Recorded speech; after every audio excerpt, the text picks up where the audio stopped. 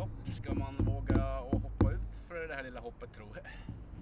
Det är jävligt högt men det är grymt fin landning och grymt fint uthopp så det ska ju bara vara att rulla ut egentligen men som vanligt ställde mitt huvud stopp för det här som hela tiden när det är första gången man ska ta ett hopp. Uh, när man väl har kört ut för det så brukar det vara som en trottoarkant men uh, det ser ju klart värre ut just nu, i alla fall i mitt huvud.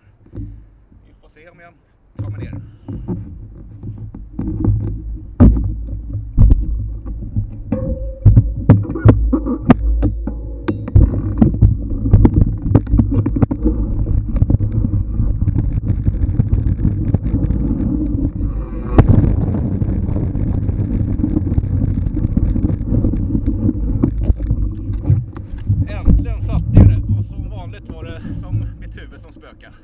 Det var inte alls farligt att dra sig ner, det var bara att glida ut. Så jävla skönt att jag satte det där för en gångs skull. Nu kan jag gå vidare till nästa A-linje.